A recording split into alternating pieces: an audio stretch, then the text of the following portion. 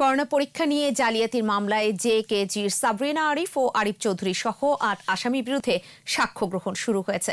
বৃহস্পতিবার বিকেলে Dhaka metropolitan magistrate Sharafuzzaman আনসারির আদালতে আসামিদের উপস্থিতিতে প্রথম দিনের সাক্ষ্য গ্রহণ সম্পন্ন হয়। এদিকে রিজেন্ট হাসপাতালের চেয়ারম্যান শাহেদের বিরুদ্ধে অস্ত্র মামলায় অভিযোগ গঠন করেছেন আদালত। মিনালা দীপা রিপোর্ট। করোনা পরীক্ষায় রিপোর্ট জালিয়াতির মামলায় সাবরিনা ও আরিফকে আদালতে নেওয়া হয় সাক্ষ্য গ্রহণের জন্য। সাক্ষ্য গ্রহণ শুরুর আগে সাবরিনা সহ আসামি পক্ষের সময় আবেদন নামঞ্জুর করেন আদালত। প্রথম সাক্ষী হিসেবে মামলার বাদী কামাল মিয়া জেকেজির প্রতারণার নানা দিক তুলে ধরেন। আমার ডিফেন্স নেয়া এবং আমার ডকুমেন্ট দেখা কি আমার বিরুদ্ধে কি অভিযোগ? সেই বিষয়গুলো এবং অভিযোগের সমর্থনে কী কী ডকুমেন্ট আছে, সেটা জানার আমার একটা কনস্টিটিউশনাল রাইট আছে।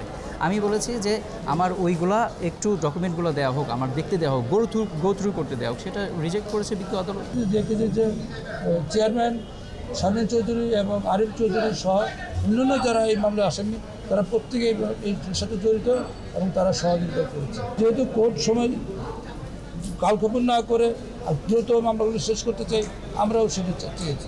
সাক্ষ্য গ্রহণের পরবর্তী তারিখ তিন সেপ্টেম্বর ধার্য করেছেন আদালত।